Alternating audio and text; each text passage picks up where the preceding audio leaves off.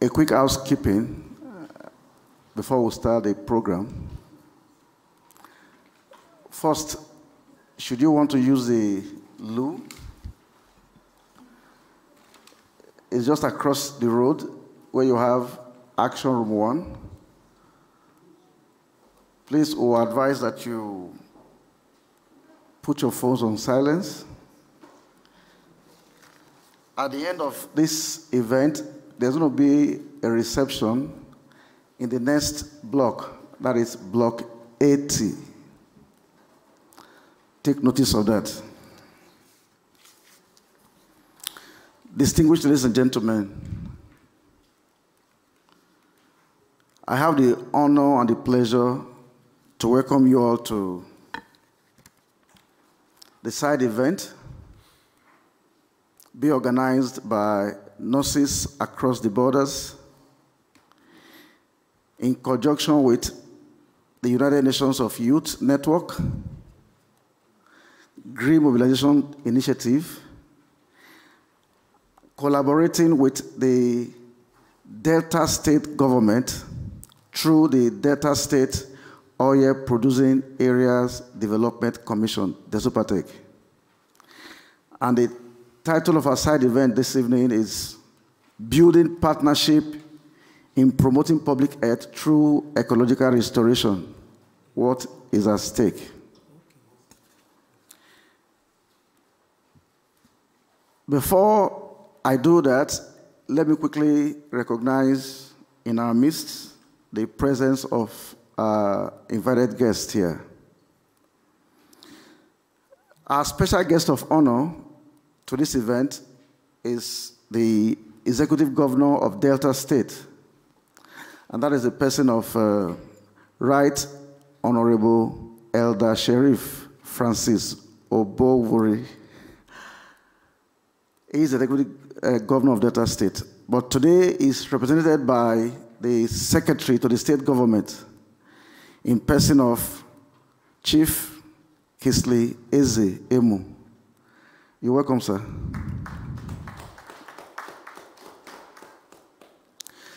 Along with the governor, we have the chairman to the board of the Delta State Oil Producing Areas Development Commission, who also came with a team, and that is Chief Barrister Obukowo John Nani.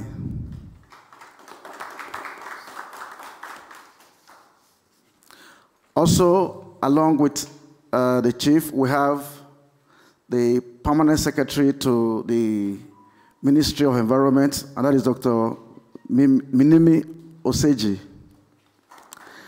And sitting close to her is the Director for Climate Change, uh, Mrs. Uh, Vivian Briggs. From the Federal Ministry of Health, we have the Director for the Climate Change and Environmental Division, in person of uh, Mr. Brooks Goswill. Along with uh, the guest from the DESOPADEC, we have uh, Chief Taleb Tebrite, who is the Executive Director of Projects. You're welcome, sir. And uh, we have the chairman of the, of the party from Delta State, Chief Esiso. You're welcome, sir. Now, on the part of the NGOs that are co-hosting uh, co this event, I have here the founder and the executive director of Green Mobilization Initiative, the person of Mr. Aborele Gabriel is on the panel. And sitting very close to Mr. Aborele Gabriel is another of our partner, Ms. Audi Perron. You're welcome. Distinguished ladies and gentlemen, this is the 28th Conference of Parties under the United Nations Framework Convention on Climate Change.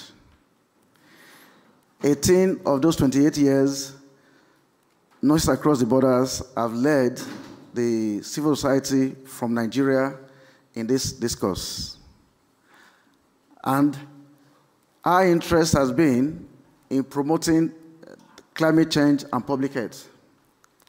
And that is why today, in collaboration with uh, GMI, that is Green Mobilization Initiative, and the United Nations of Youth. I forgot the fourth NGO. That is the Global Alert for the Defense of Youth and the Less Privileged. And that is GADLYP. So they are also co hosting this with us. The Global Alert, you know, they have a joint presentation, which, which will be done by their convener, His Royal Majesty, Dr. Goodluck Obi, who is going to be joining us online for his presentation. So without much ado, I just give you a brief uh, remark about the concept for this event. This event is poised to bring its stakeholders to review the problems, progress, and prospects of the successes and failures recorded so far in making health a thematic item and a driver of the climate change campaign by promoting tree planting in mitigation and adaptation strategies for a healthy environment. The theme is building partnership in promoting public health through ecological restoration. What is at stake? And that is why this evening we're collaborating with a major stakeholder in community development, uh, which is an intervention, interventionist agency of the Delta State in Nigeria, that is Desopadec. So, ladies and gentlemen, to kick the ball rolling, we want to start with the keynote address by His Excellency, the Executive Governor of Delta State, Right Honorable Elder Sheriff Oborevwori, and uh, the speech will be read on his behalf by the Secretary of the State Government, Chief Kingsley Eze Emu. Your Excellency, you have the floor, sir. Yes, sir. You can do better than that. If you want to clap, clap. Thank you.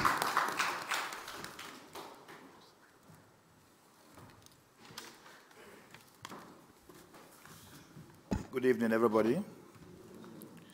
I bring you greetings from His Excellency, the Governor of Delta State. He's unavoidably absent, but we rest assured that he has full representation here in, uh, in Dubai.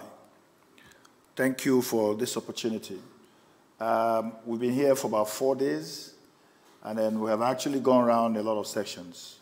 Today, I had two sessions, and in my opinion, after those two sessions, we believe that climate change challenge should be given the status of a pandemic. When you make climate change a pandemic, then the world will be serious about it. When COVID came, COVID had that status and it was cured. And we think that if we don't do that, like they always say, in the next 20, 30 years, some human existence will go into ex extinction. And the threat is real, and it's important that um, we take this matter very seriously. Uh, let me, please permit me now to go straight to um, the real speech by His Excellency the Governor. Thank you. Address, oh, by, uh, before then, let me correct one impression. I'm not a chief. I am Dr. Kingsley M. Thank you. Thank you. Address by His Excellency Right Honorable Elder Sheriff F.O. Oborevwori, Governor of Delta State, Nigeria, at the United Nations Framework Convention on Climate Change, UNFCCC, side event on building partnership in promoting public health through ecological restoration. What is at stake? On Monday, December 11th, 23rd, at the Expo City, Dubai, United Emirates.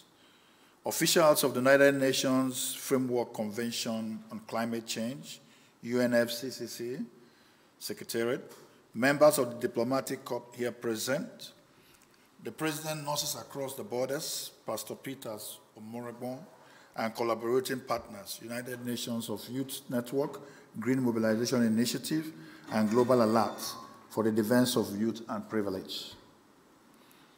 The Commissioner for Environment, Delta States, Honorable, Honorable Commissioner Djamani Tomi Ejiro, and its Permanent Secretary, Dr. and Mrs.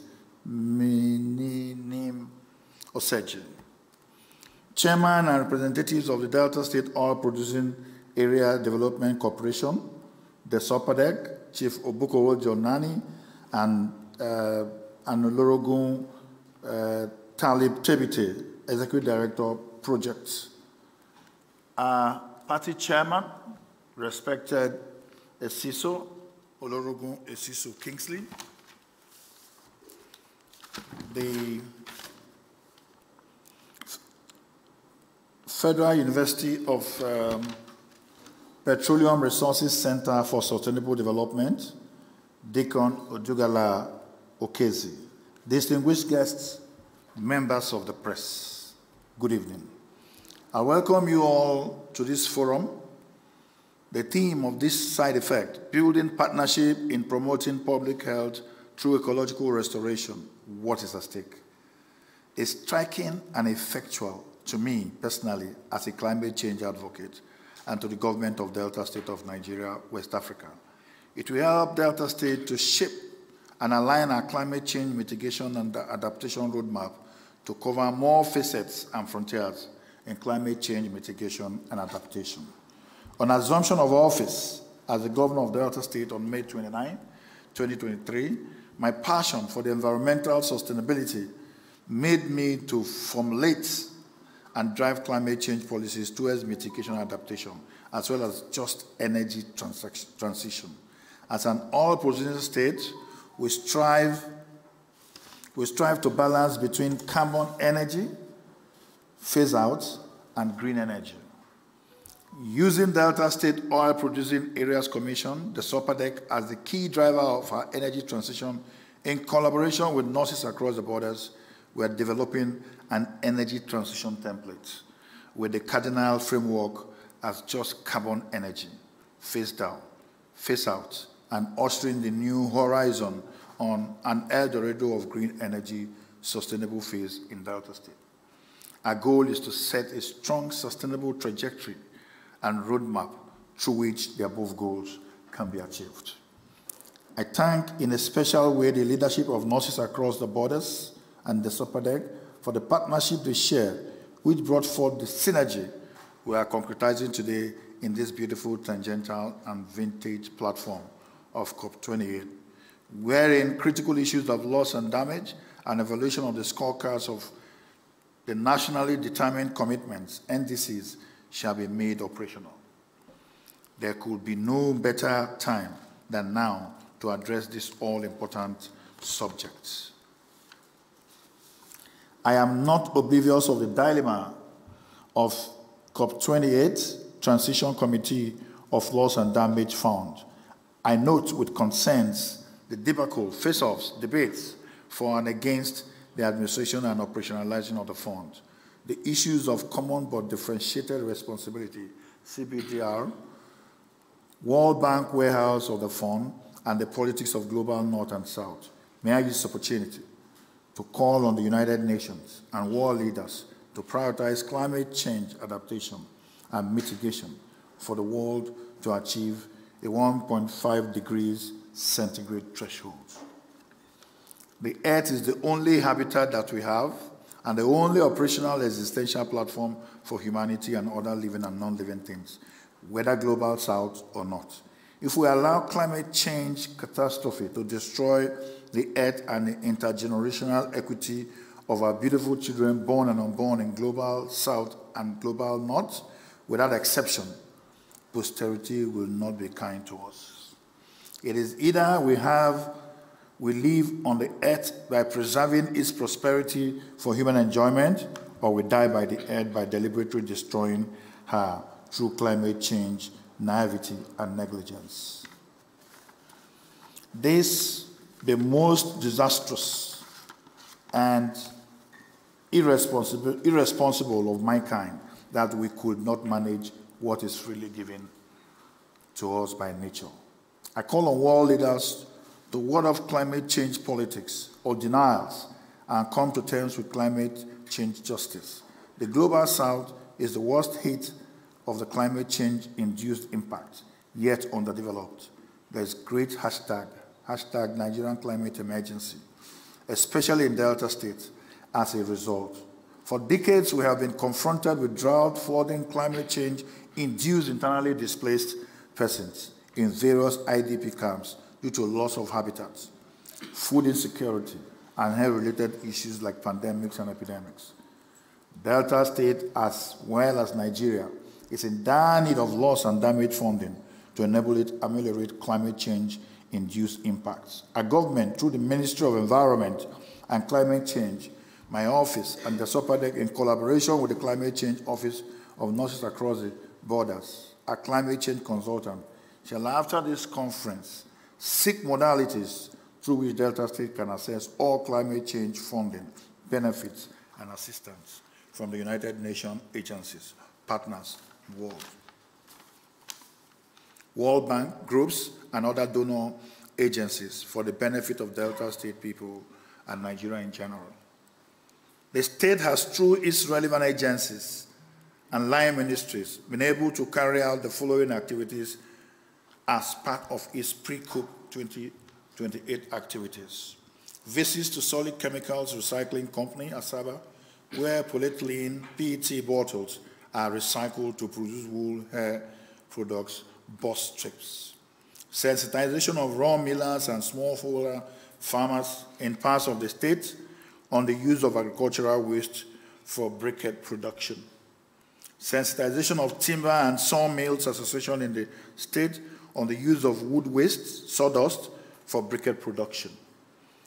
Organization of virtual meeting with oil companies operating in Delta State to discuss ways of reducing gas flaring in the state. There's a plan for a post-COP28 activities with relevant stakeholders in the state and partners like nurses across the borders to share best practice. To share best practice with oil companies in the, in the management and operational utilization of gas, gas-based flares, and reduction of the green gas emission in the states. There is a plan to carry out feasibility studies of the four clean development mechanisms, CDM projects in the state for the recovery and utilization of associated gas flaring in parts of the state.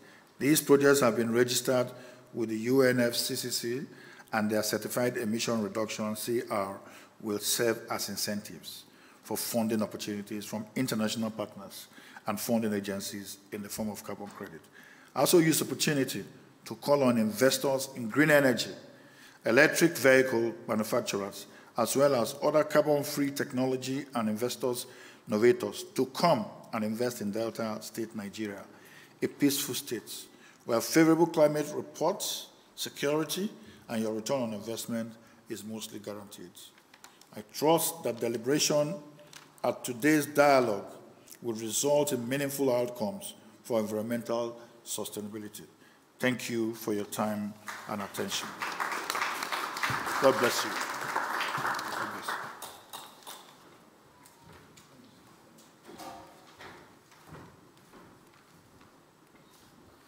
Thank you, Your Excellency, for that beautiful keynote address. We want to move on to the panel presentations for tonight. And to kickstart that, we have a global represent, representative of the ecosystem restoration movement.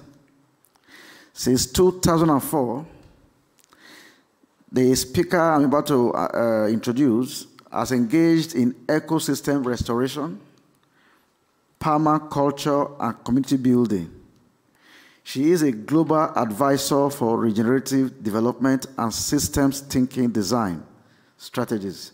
She advocates for earth and water stewardship as well as people well-being. Ladies and gentlemen, I bring to the podium Ms. Audi Perone, who will be speaking on healthy ecosystems, healthy community. Audi, please.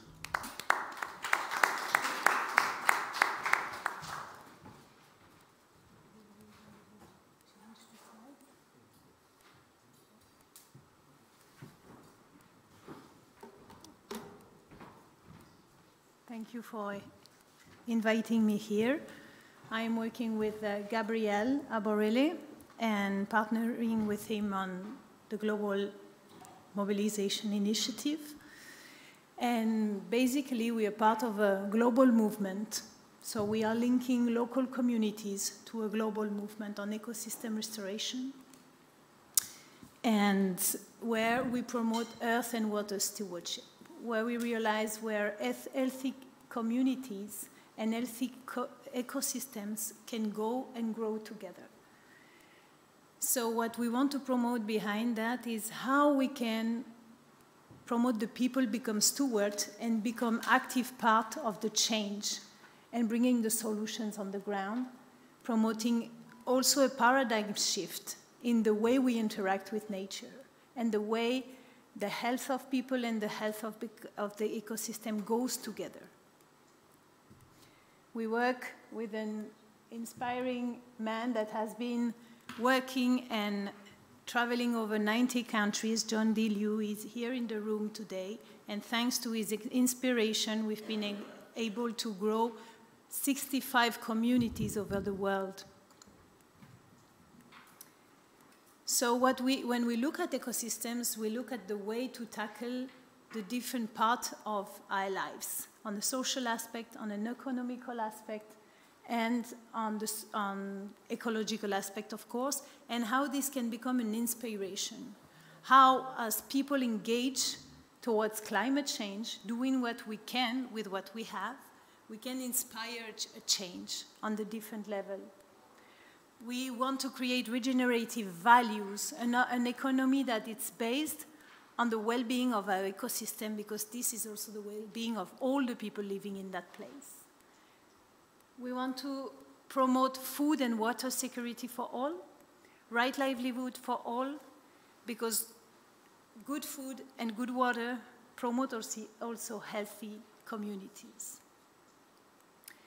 And what we see around that is that we probably need to reorganize ourselves and the way we organize the infrastructure needed for all of us, for all our common needs.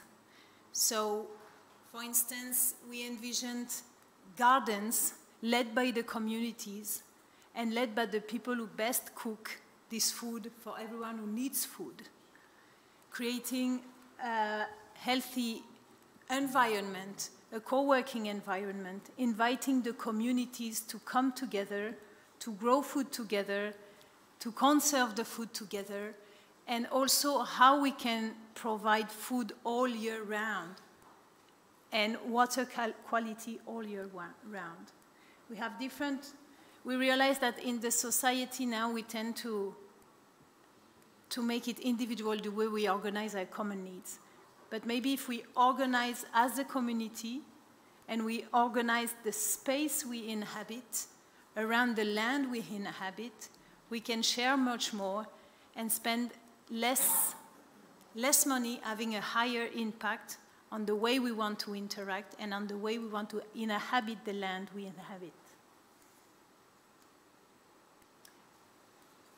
So basically, with Gabrielle, what we were talking about when working together is how ecosystem restoration and peace building comes together. We call it a flourishing path where people can thrive, nature can thrive, and where people have that role where we empower the local communities to really become part, to be re really become full um, part of the, of the change we want to see. So we also work on this um, global and local partnership because we believe this can match together. We believe if we unite, we can also help the work um, and the solutions we have come together. But this re requires a way to look at things on the longer term, thinking how on the long term we can bring solutions. So there are immediate needs we need to at attend right now, but how can we also provide a long-term agenda and looking at things and how when we build partnership, we can have a space where we gather and look at the results together, where we have some feedback session all together where we contrast what's being done, what's being lacking, what's being missing, what can be done better. And we believe that the, a good partnership is based on this good communication and together learning how we can make it better. So we also understand that this has complexities depending in every localities. But again, as we partner together, we can look at the, at, this, at the problems to find the solutions together.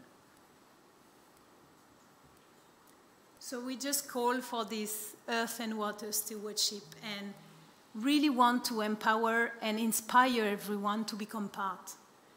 And, and um, yeah, and how we can restore the functionality of the ecosystem, how we can plan well and how we can also restore the way we relate with each other as people. Thank you.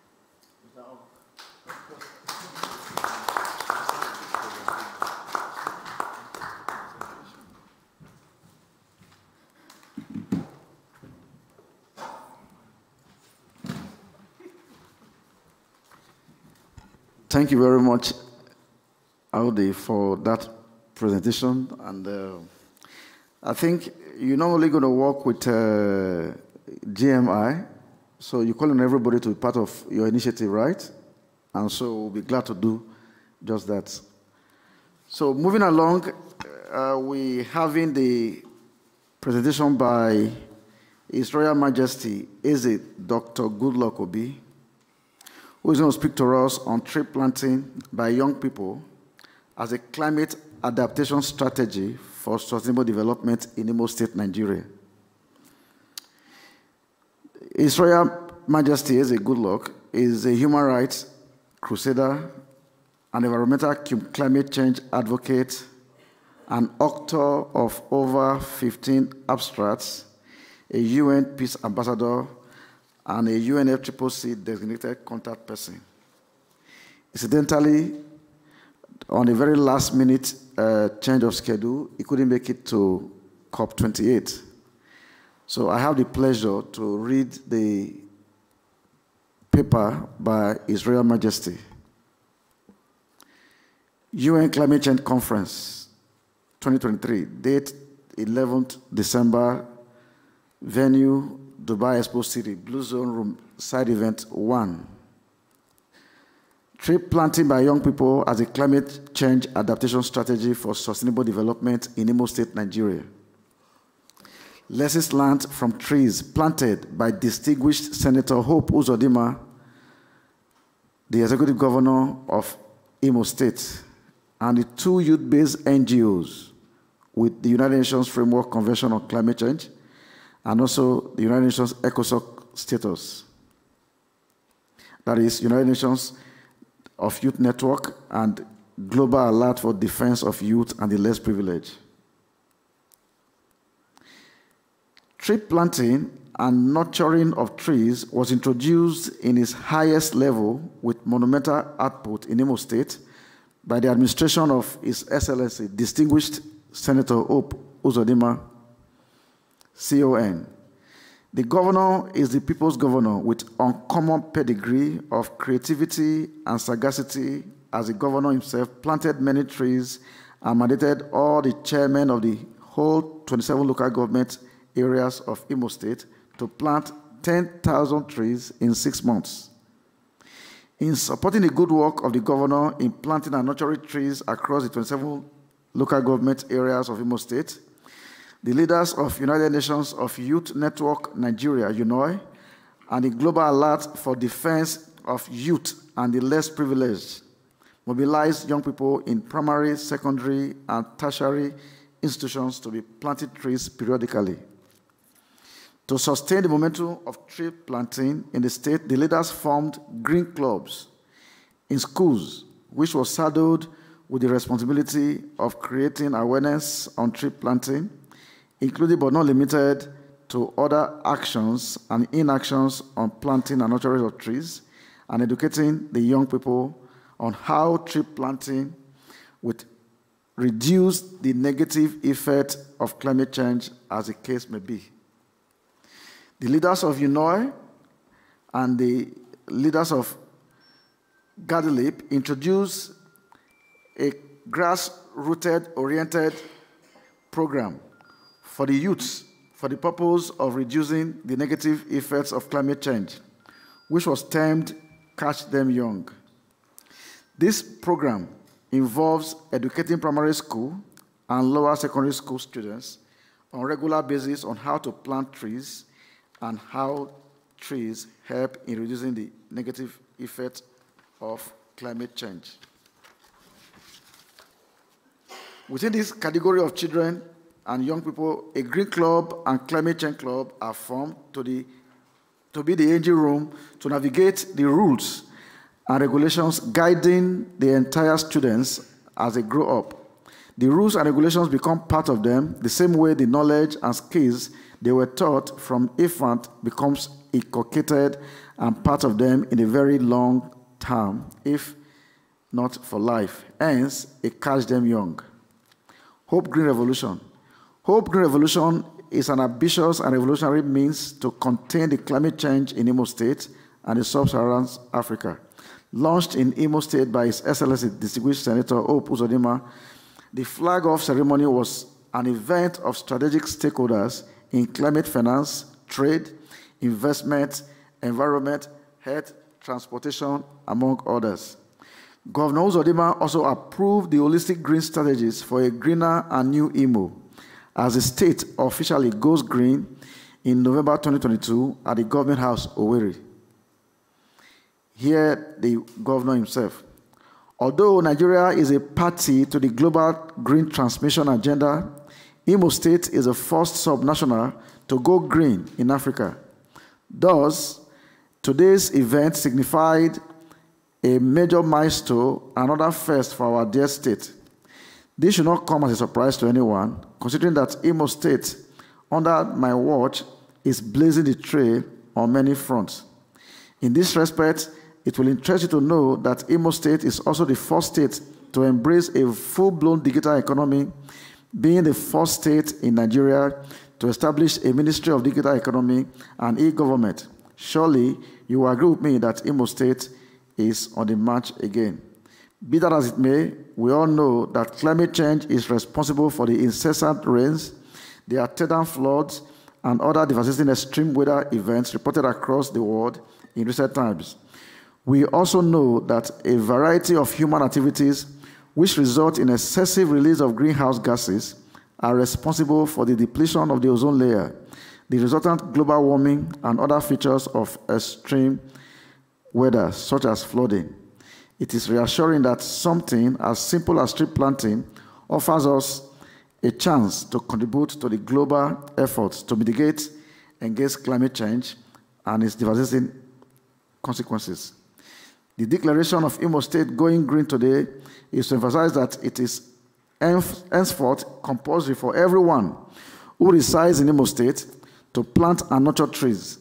In addition, other initiatives aimed at reducing the amount of greenhouse gases released to the environment through everyday human activities to be launched. This includes the adoption of such green energy initiatives as in green cook stoves and other energy saving initiatives in government offices and buildings. This is an innovative idea aimed at helping to mitigate the damage done to our environment by the indiscriminate activities of man. Although we have been having tree planting campaigns in Nigeria, I believe the current aggressive approach will yield more positive results, partly because many of us now know, the, know that climate change is real. That was the end of uh, Israel Majesty's uh, paper. And that was the end of the comment by the governor of uh, Imo State. So going further, we move on to, thank you very much. Thank you, sir. So quickly, we move on to the next panelist. And uh, he is the founder and executive director of the Green Mobilization Initiative. He holds a master's degree in forest ecology and conservation and a bachelor's degree in forestry and wildlife management. An environmental forestpreneur, climate change activist. Ladies and gentlemen, I have the pleasure to introduce Gabriel Aborele, who will be speaking to us on promoting ecological restoration in schools and adjoining communities through tree planting. Mr. Aborele, the floor is yours.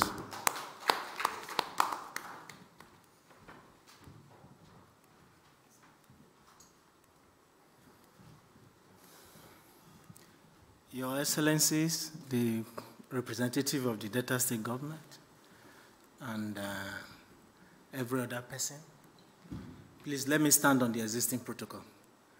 My name is Gabriel Aborele. I'm the founder, president, Green Mobilization Initiative.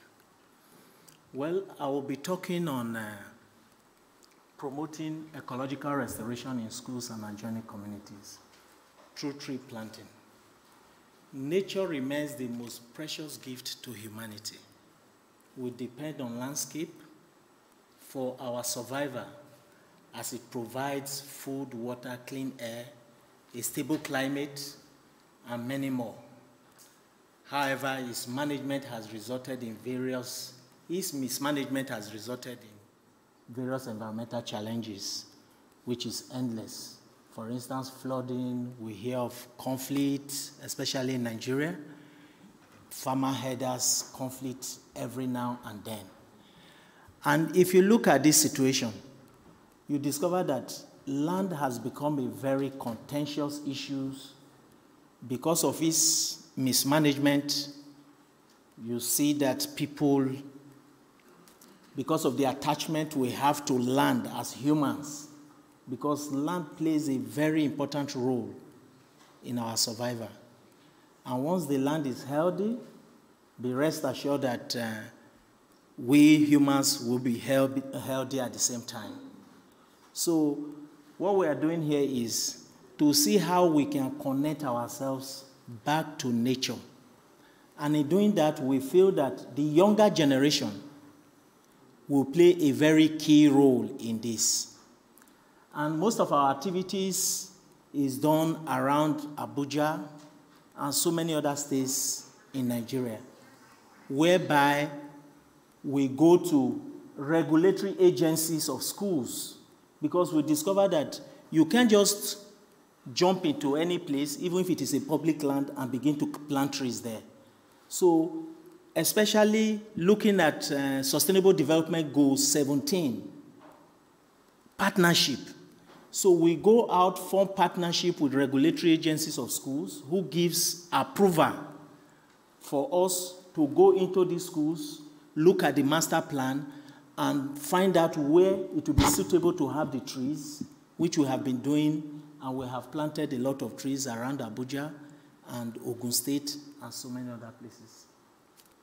This we do to raise awareness on tree planting and highlight positive uses of trees and nature-based solutions for the prevention of biodiversity and climate change mitigation. Please. Okay. This is some of the things we have done. Okay, we have used also tree planting as a peace building mechanism. For instance, in Kaduna State, where we know religious crisis prevailed over time, that has splitted even the state into two different communities of Christians and Muslims. At a certain point, we brought people from the divide to plant trees together, and everybody was happy, which means there is a lot we can really do together. That is the more reason we are forming partnership with our partners, Aounde from Ecosystem Restoration Camp. This is something Nigerians should really plug into whereby land should be made available where ecological restoration will be taught, especially to people in Abuja, for instance, we have people who are even homeless, they don't have where to stay. They can be factored into it, where there will be common kitchen, everybody will be doing things together for the purpose of restoring land. It is achievable if we plug into this opportunity. So these are some of the schools where we have planted, like in Federal University of uh, uh, Federal University of Agriculture, their their school, their, the secondary school.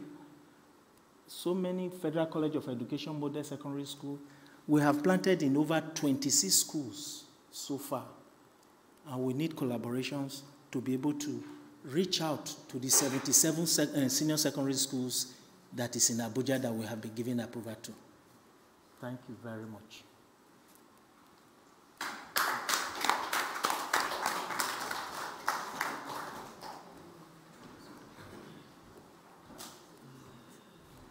Thank you, Mr. Aborele.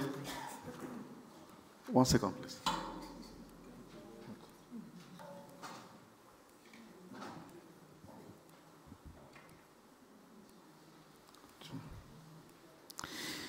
Quickly, we want to move to the interactive uh, sessions, questions and comments. And uh, we have just nine minutes to do that. So if you have any questions you want to ask, or you have a comment you want to make, you please, can we have the microphone, please? Thank you very much. Please introduce yourself. Thank you so much. Um, I'm Dr. Mrs.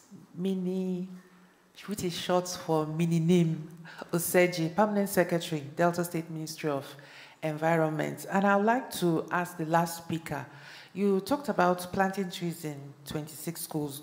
Do you have the number of those trees? And how do you monitor to make sure that those trees survive? Because it takes up to about two years before the trees can stand on their own. Yeah. Thank you.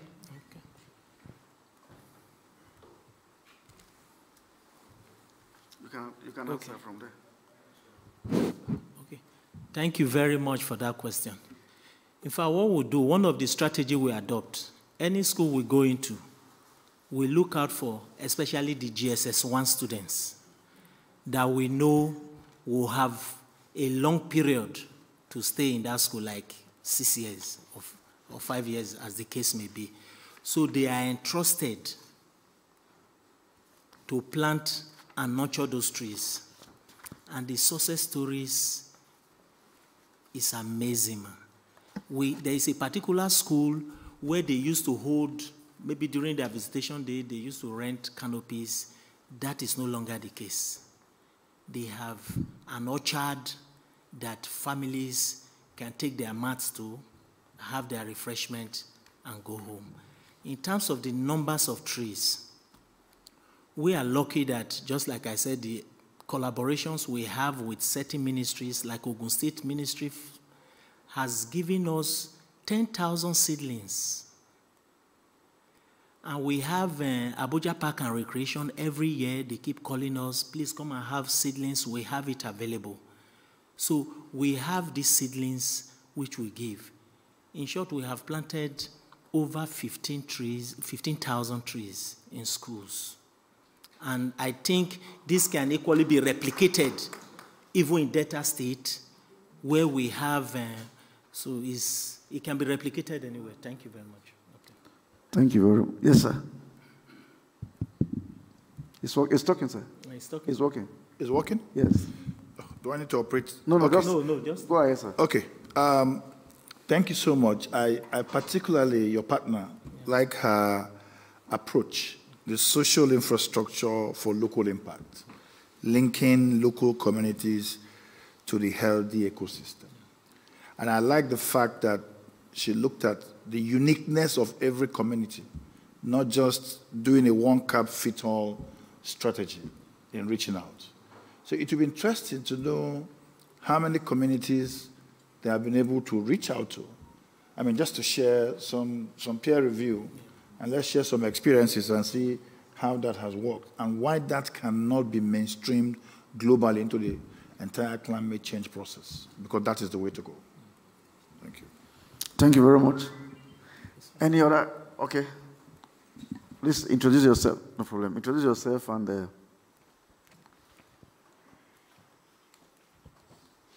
Uh, a very good evening, ladies and gentlemen, and the esteemed panelists.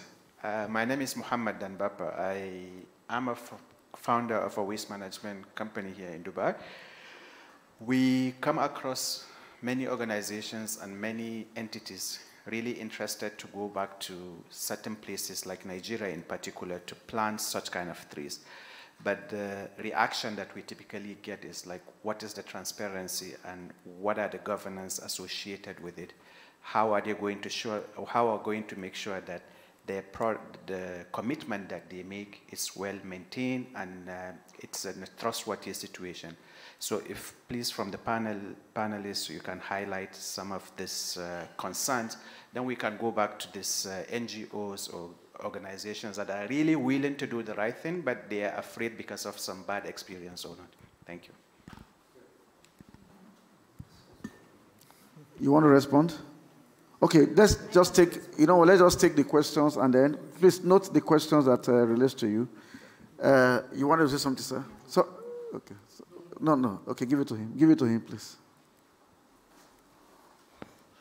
Good evening, everybody present. My name is uh, Engineer Dr. Christopher Giba. Although I'm a PhD holder on water and environmental, environmental health. So we, I'm a member of global initiatives. There are certain things why one of the concerns he raised, not the perception you people had about Nigeria. Because we are, that is why we are coming on board to let you know Nigeria is not what you heard about them. We live there, we grew up there. We are still there today.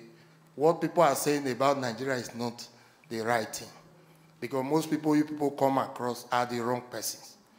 Like with the global initiative, if you come through this initiative you want to plant, you heard what he said, because we collaborate with the government.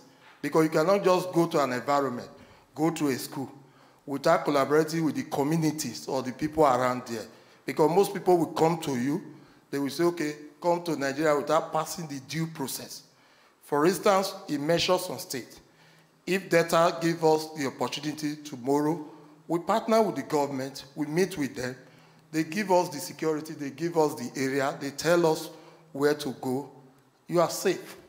But if you come through the wrong people, you are not. Because those people that comes here and start telling you sorts of things, they are not the right person. So I will assure you that if you come through our NGO or any other government agency that are aware, just like we came to Dubai, the government is aware we are here. We didn't just jump into Dubai and start doing what we like. Wherever we go, they are aware. Also Nigeria. So once the government and the uh, many of us who live there are aware that you are there, you will be protected, your investment and everything you have will be protected. Thank, Thank you. you. very much. And uh, just because we're gonna, okay, sir, you want to re- quickly I respond? can actually comment further on that. You talked about transparency and governance. Your local partner is very critical. And you must have a local partner in any business you do outside your clime to be able to be successful. That's the man who takes, who hand carries you to practically everywhere and understands all the developments in that area. And the issue of governance becomes sustainability, as it were. If you link up with the right people, Delta State is prepared for all of this. And that's why we're linking up with um, the nurses across board and dealing across borders. And if we could come here in our numbers, it shows a lot of commitment. So you need a lot of commitment and you need a good local partner to have a successful outing. We're interested. Thank you very much, sir. Last comment, please.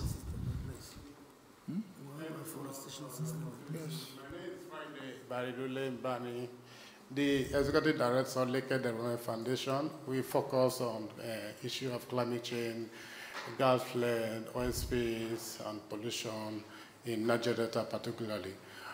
Oh, thank you so much. I must commend, I, must start to commend the Delta State government as a whole because I'm indigenous of that uh, region and I'm seeing a kind of awareness campaign and interest they have, especially when we talk about climate change. We have 36 states that make up Nigeria today, but if you can see how Delta State coordinated, coordinate themselves and be at this uh, uh, conference and talk about the issue that is worrisome about our people and the global environment. Thank you, thank you, thank you. Again, let me just go straight to the question so that we will not take much of the time. Ma, you talk about a healthy ecosystem and a healthy community.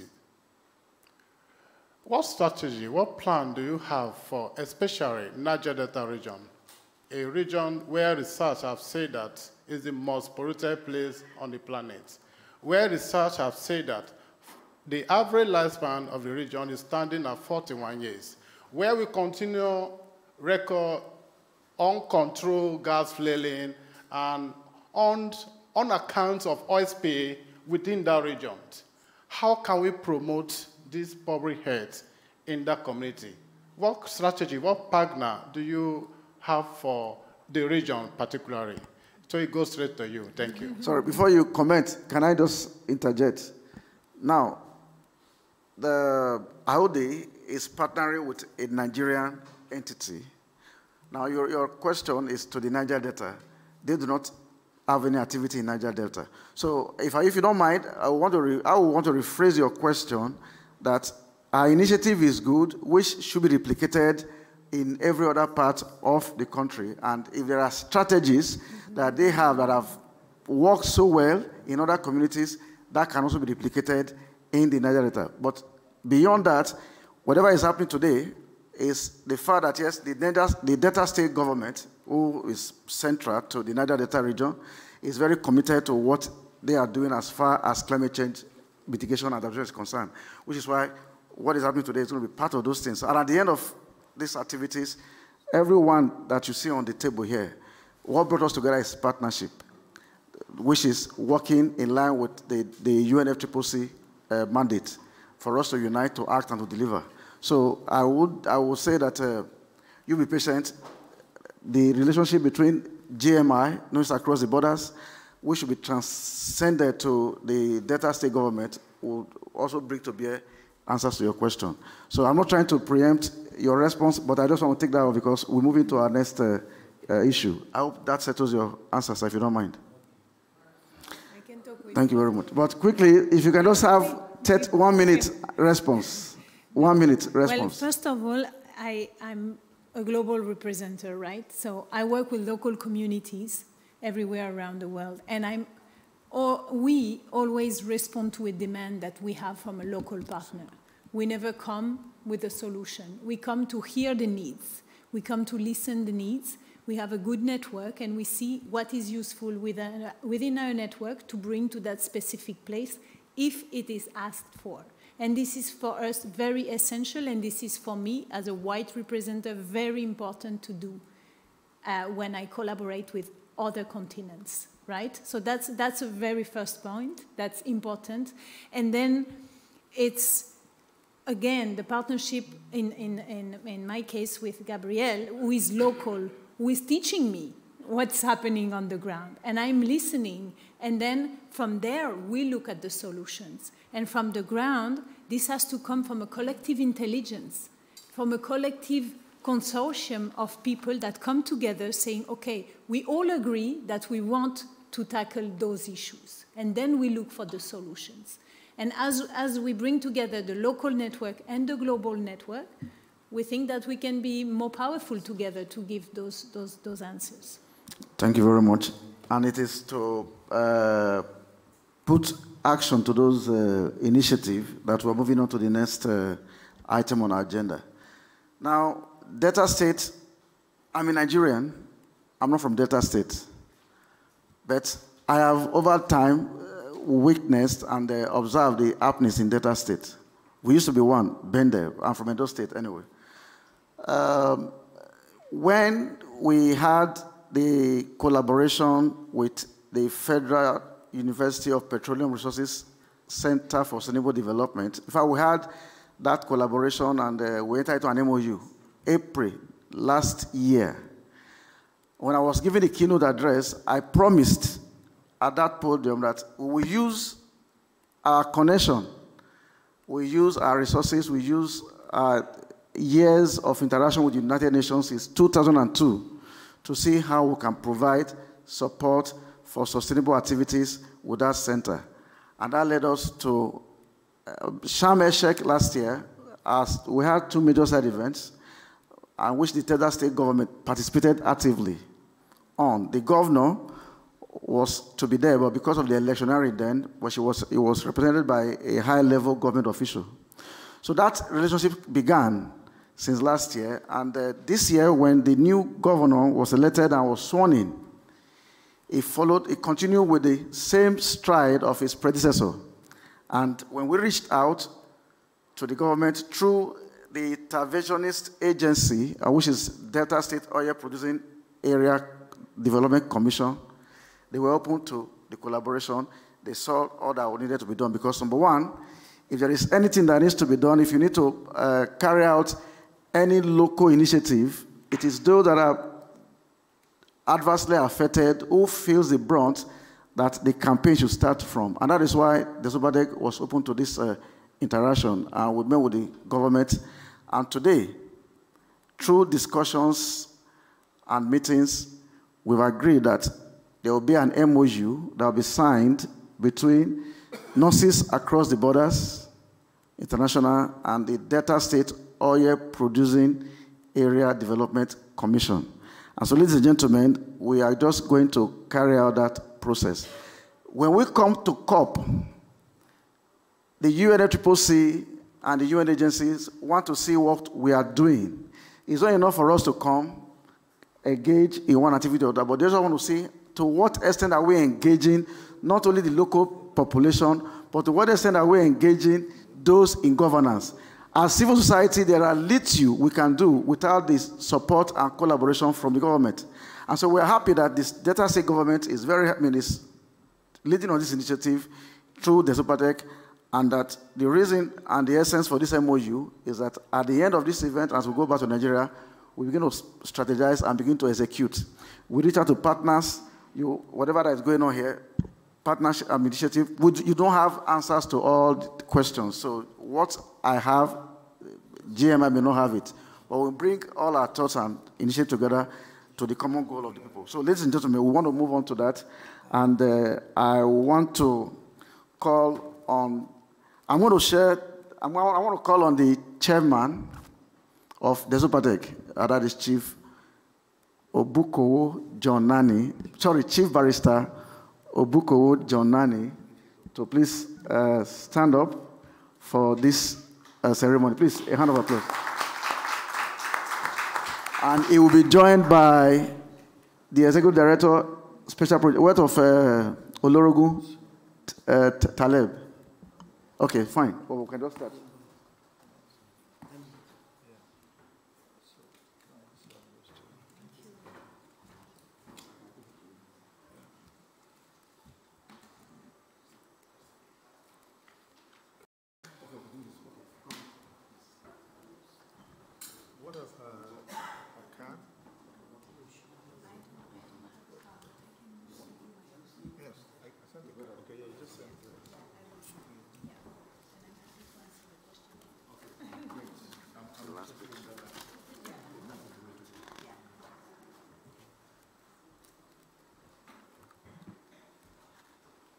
sign first. Okay, sir.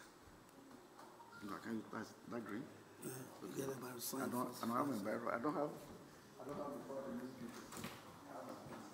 I said, I said, he needs to sign first if I. Of course, sir.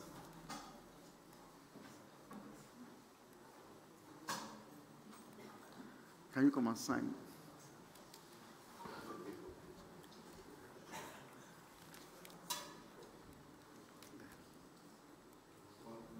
It's on, it's on. It's on your.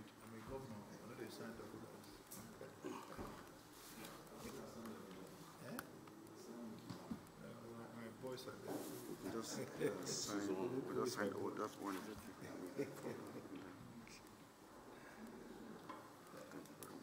Yes, just-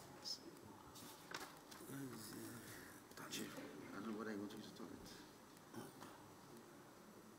Oh, is he gone? Oh, still- supposed to go to the.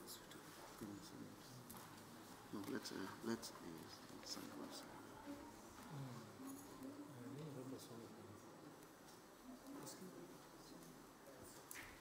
I was supposed to respond to you. I think this one is, is. So on. Thank you. I'm going to hand over one to you and I'll take. So let them take a picture? Please let me have one.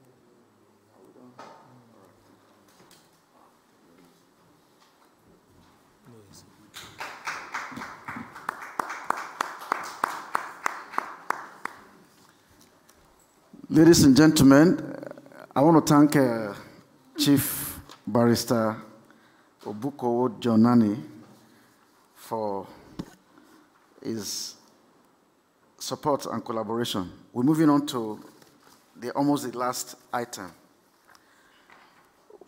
They said, honor is given to whom honor is due. We do not just talk, but we do the talk. If in 18 years of my activities with the UNFCCC, and identify a champion of the climate change, I have every authority to do it because I have been around for a long while. It is not how far that matters life, it is how well. And so today, we want to honor. Sorry, technical clue, please. yes, thank you. Today, we want to honor Delta State and the Delta State governor for their bold climate change initiative. That is why the face of Delta State is the number one citizen of the state, and that is the person of Right Honorable Elder Sheriff F.O. Oborevwori. This afternoon, we are going to honor him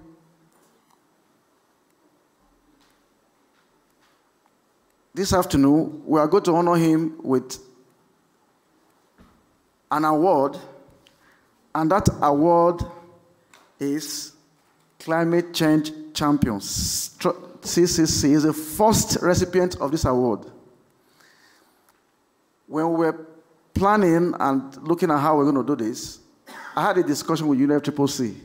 In fact, what they did was to also request that we make this a yearly event. That means every year we identify climate change champions that will be accorded this honor.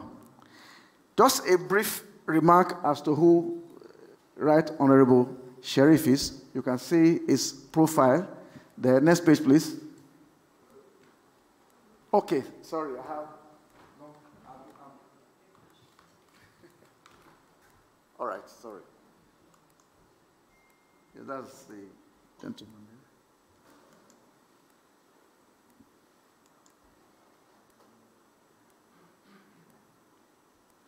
These are some of the.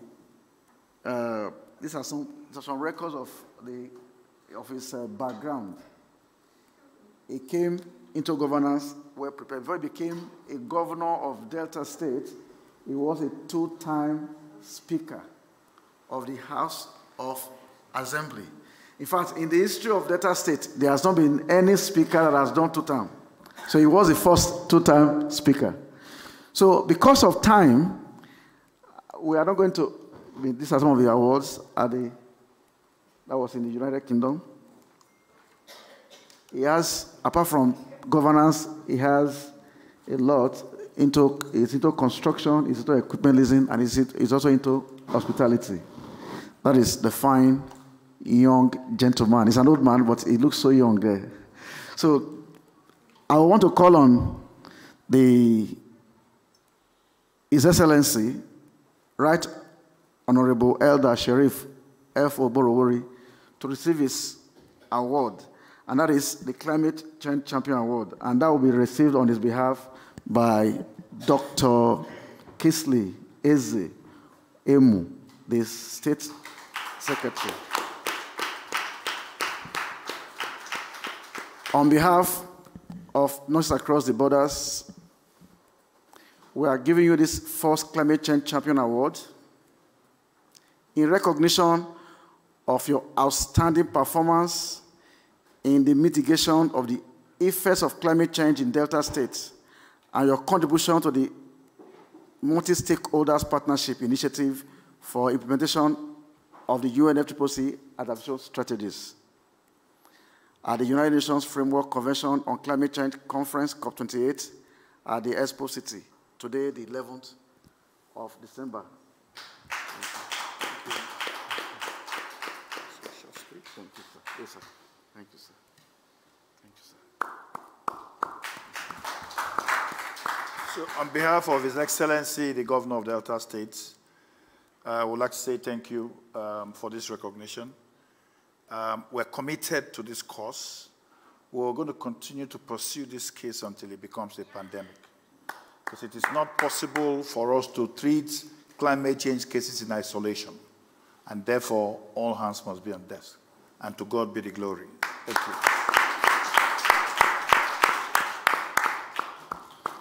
Thank you, sir. Next on our list of awardees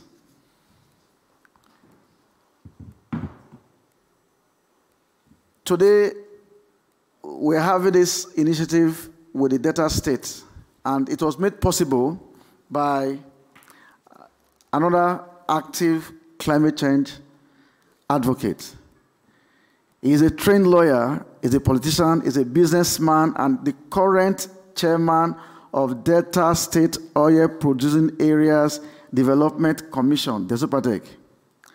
And that is our friend and brother, Chief, sorry, Olorogun Barrister John Obukowo Nani.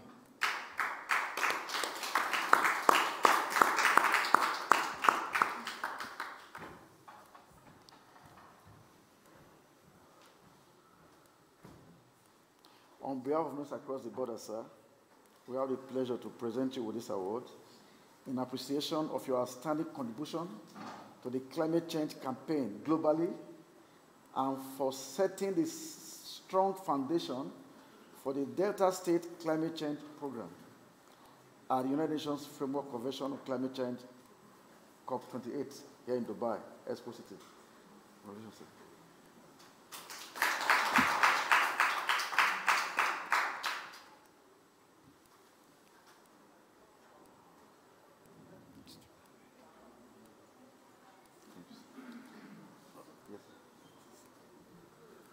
Well, I dedicate this award to the immediate past governor who took it as something innovative for him to see climate change as a dynamic change positively for the last state to be in forefront. I was made commissioner for environment by him, and he gave all the enablements for me to perform and be well grounded in climate change. I never supported it on my own, but because of the enablements that was given to me by the governor of Delta State, His Excellency Arthur Ifeanyi Okowa. I dedicate it to him.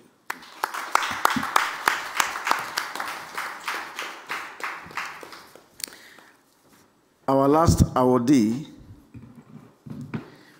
was appointed head, Special Climate Change Unit, Federal Ministry of Environment, Nigeria, in 2008, as well as a designated national authority and focal point person for reduced emissions from deforestation and degradation, REDD.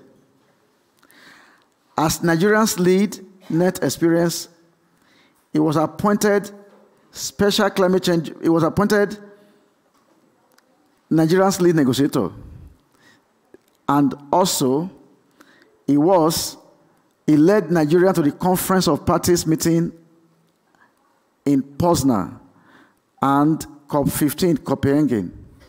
In fact, Copenhagen was one of the best COP we've ever attended in Nigeria, by the Nigerian delegation the man I'm about to introduce made sure that all the delegation from Nigeria, not just the government uh, delegation delegates, including the civil society, we went to Copenhagen as one family. But ever since, we've never experienced such uh, interaction. He is a member of the Committee of Conference of African Heads of States and Government on Climate Change. In 2010, he co-chaired of African Group of Negotiators in the UNFCCC negotiation process.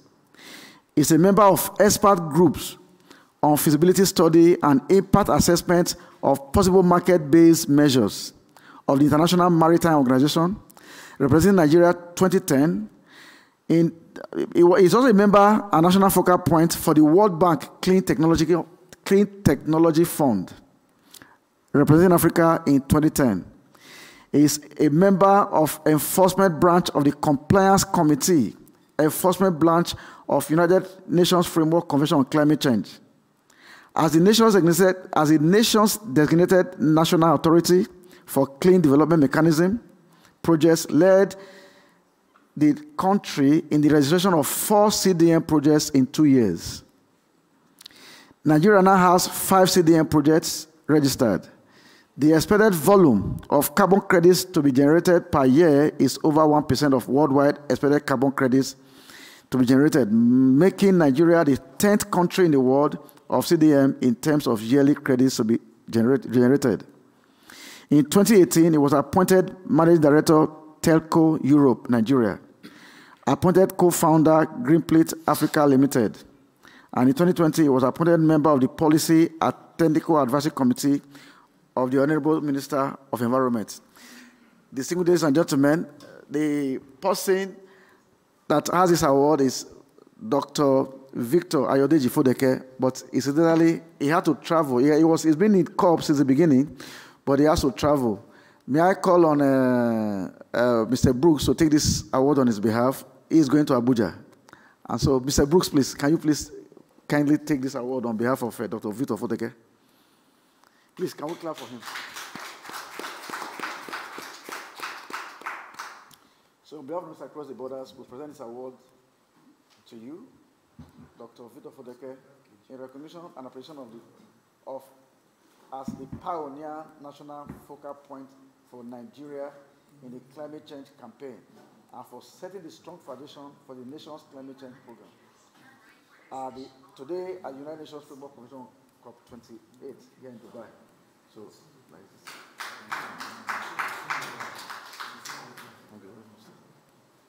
Want to say something? Yeah. Yes, sir. So um, I am delighted to receive this award on in behalf of Victor Folake. I am of the Federal Minister of Health, and I'm happy to see a federal, a federal staff to receive such an award because it is the federal government of Nigeria and a focal point. I'm a focal point for health of Nigeria now. So I will present this award to him, and we are also delightful to be here to see the nurses across the border to go this length. And we are happy and we are asking you to continue with your good work. And I will let the Honorable Minister for Environment to know this. And the National Focal Point, who is the NCCC, to know of this award. Thank you so much. Thank you very much.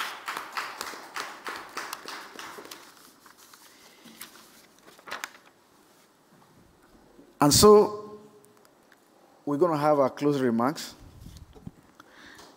We have 10 minutes. We're working with time. And I'll have the pleasure to call on Chief Barrister Obukowo John Nani for the closing remarks.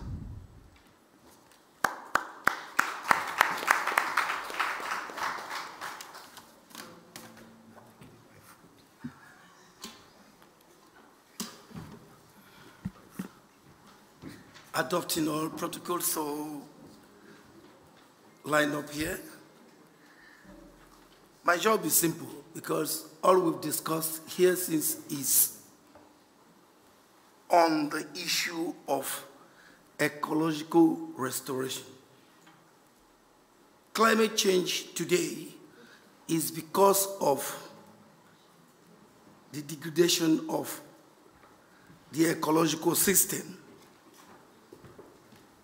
Therefore, we need ways to restore this destroyed ecology that is affecting humanity. It's not a fight for government, it's not a fight for the individual, but globally, like she said, it is the data from the locals that the globe will work it. We were told here that if we look at it as a mere disease and not epidemic, the world, human, will be consumed. Therefore, all hands must be on deck because we're talking of tree planting. If you don't go to the grassroots, those locals, and let them know why they need trees, they were planting it before ITE2, not knowing it's for carbon sequestration, it's for carbon credit. They came up on their own and started destroying the forest by deforestation. But we need to let them know that it is deforestation that is making us today feel the impact of industrialization, which has brought climate change that we are fighting today. Discussants have told us the way forward. We have had states that have gone to planting trees. Trees can be named after students in schools, and you see it as part of you. As you are in JS1, by the time you will leave in school, in SS3, the tree will be six years old. Then the tree can sustain itself. Other plethora way for us to see to it that carbon credit is gained must be from the grassroots. It's not the one we see in CNN. We must take it back. The technology which the global north today is talking about, they should also bring it to the global south so that the world, the globe, would have seen climate change as an ailment that everyone need to cure. I think that is the restoration of the ecological degradation that brought us here today. In this assumption, I think is a conclusion. If we can encapsulate all this, we will definitely defeat climate change. Thank you very much. Thank you very much. Um, Mr. Dickin, could you please share our T-shirts and the face cap, starting with the members of the table quickly.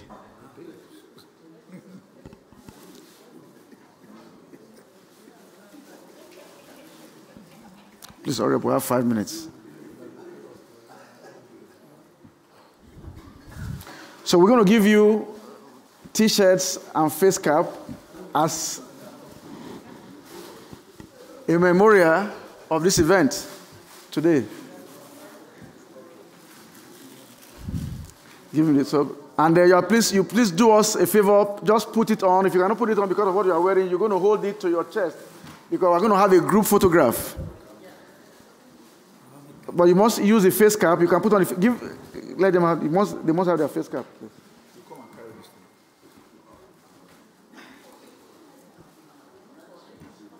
Let me have my. Let me have my face cap, please.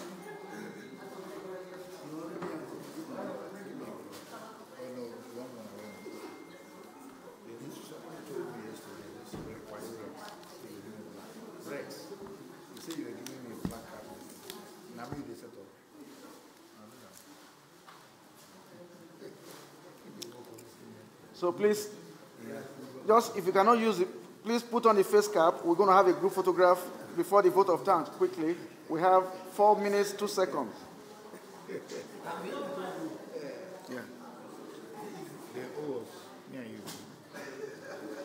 Please put, just put on your face cap. Please, eh, whatever is available, please take. Just, please, I beg you. Or I give a chairman his own face cap. Please give to the people behind. Look at the ladies behind, please. Okay.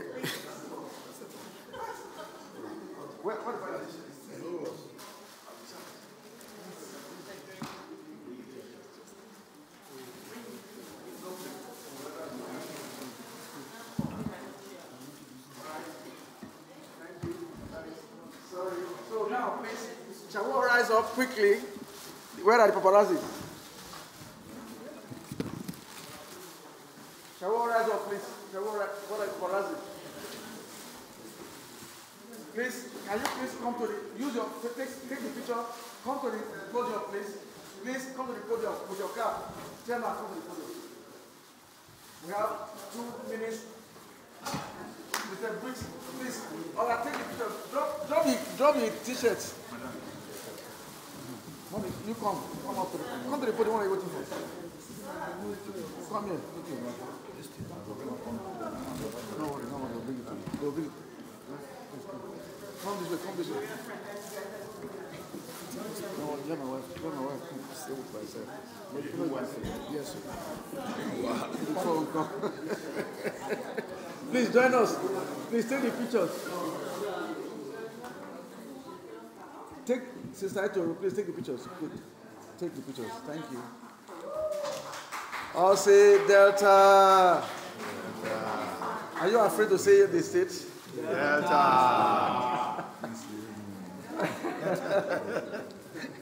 wow. Thank you very much.